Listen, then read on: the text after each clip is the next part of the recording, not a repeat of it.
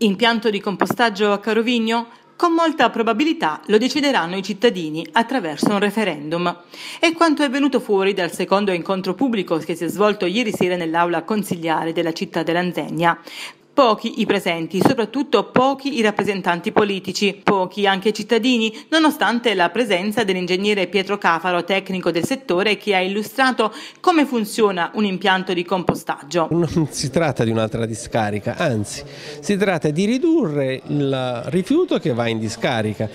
Vogliamo fare gli ambientalisti, però poi non vogliamo trattare i rifiuti in maniera adeguata. Il rifiuto va trattato o lo si brucia, che era la vecchia mentalità, oppure si fa la raccolta differenziata, l'impianto di compostaggio, il riciclaggio delle materie riciclabili. Questa è la, parte, la gestione del rifiuto più ambientalista possibile. Ecco, parliamo un attimo di inquinamento, questa parola che fa tanto paura ovviamente a tutti i cittadini giustamente.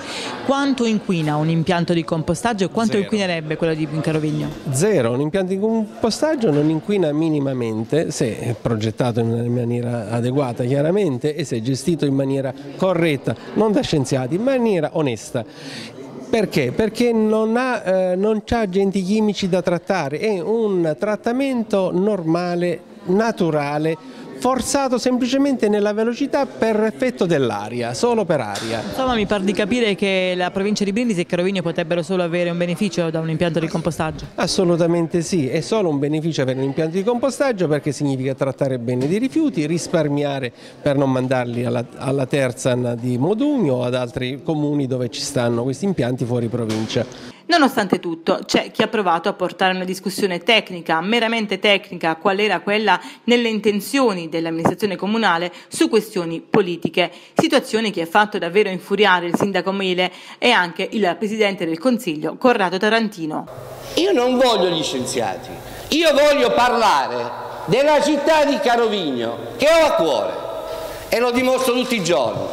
Allora oggi nel momento in cui la città viene chiamata a decidere se fare o meno l'impianto di compostaggio, non deve guardare a quello che è successo a Chernobyl o alla centrale a carbone, perché stiamo parlando degli anni 50, degli anni 60. Oggi questa città è amministrata da un'amministrazione che è un'amministrazione assolutissimamente trasparente e sulla trasparenza di questa amministrazione no? ci sono gli atti giornalieri che grazie al Signore siamo talmente attenzionati che non ce lo sogneremmo neanche di fare un atto, voglio dire, non trasparente. Voi stasera non avete dato sicuramente un esempio di equità e di trasparenza, perché io capisco l'opinione, ma non capisco quando qualcuno mi viene a dire aiuto al lupo al lupo, il compostaggio è la rovina del paese, addio al turismo, addio all'agricoltura, addio, addio, addio. No, il compostaggio servirebbe alla città di Carovigno a diminuire la bolletta, perché oggi l'umido costa andarlo a buttare tre volte in più dell'anno scorso. Perché il ciclo dei rifiuti non si chiude. Fare il Presidente del Consiglio significa mettere il cervello all'ammasso come fanno molti e quindi sento il diritto e il dovere di esprimermi come sono abituato a fare eh, eh, a dire come la penso sulle questioni. Sulla questione che diceva prima Tonia, Tonia Gentile, sulla questione che diceva prima Tonia Gentile, rispetto a stamattina, io mi sono eh, incazzato perché non accetto morali e moralismi da ambientalismi, da ambientalisti dell'ultima ora, dell'ultima ora, né da chi ha amministrato questo paese 20 anni e vuol fare la morale a me che lo amministro da tre mesi. Molto banalmente, ogni cosa, ci tengo a dirlo perché ogni cosa va, vada al posto suo, al posto giusto. Insomma, dopo tre ore di discussione su come funziona un impianto di compostaggio, quale potrebbe essere l'impatto ambientale e soprattutto quale potrebbe essere anche l'impatto dal punto di vista economico sul territorio, si è giunti ad un'unica decisione, quella probabilmente di affidarsi il prossimo agosto ad un referendum. Ma l'incontro dell'udente non per la questione tecnica che insomma voglio dire, capire che cos'è un impianto di compostaggio non è che ci vuole la scienza. L'incontro è deludente perché da questi incontri pubblici si vuole una partecipazione più attiva da parte della città e soprattutto ci vuole una onestà intellettuale da parte del cittadino.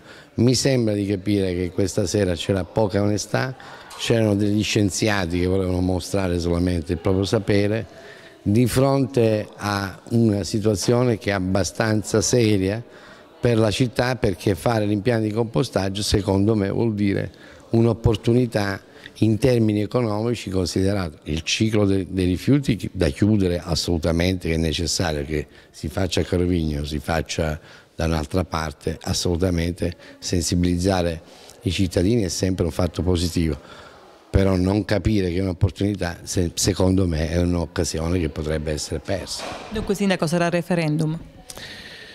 Guardi, eh, il referendum sarebbe bello, bisogna vedere se ci sono le condizioni, eh, siamo al 15 di luglio, per me sarebbe il referendum, vediamo se ci sono le condizioni di farlo, soprattutto le condizioni di carattere economico che che è quello che mi preoccupa di più. Insomma, Carovigno attende di conoscere quale sarà la decisione all'unanimità da parte dei cittadini, se cioè l'impianto di compostaggio potrà nascere in contrada deserto oppure si rifiuterà, si rifiuterà a favore invece di altri comuni che probabilmente hanno compreso l'importanza dell'impianto e hanno rilanciato la loro candidatura, così come continua a fare Torre Santa Susanna. Torre Santa Susanna credo che sono più avanti come mentalità perché loro addirittura ne avevano chiesto di farlo da 60.000 quindi io agli amici di Torre eh, consiglio che un impianto di 60.000 tonnellate ma questo gliel'ho detto già in riunione OGA è un impianto insomma a rischio.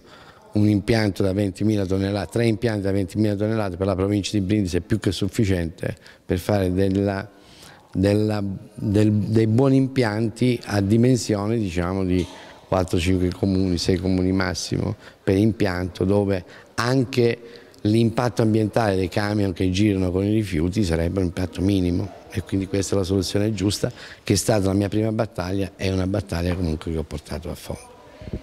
In tutto il mondo il rifiuto è una risorsa, perché a Carovigno no? Con questo dico Facciamoci questo referendum, andiamo sulle piazze e andiamo a dire come, la pensiamo, ma con onestà intellettuale.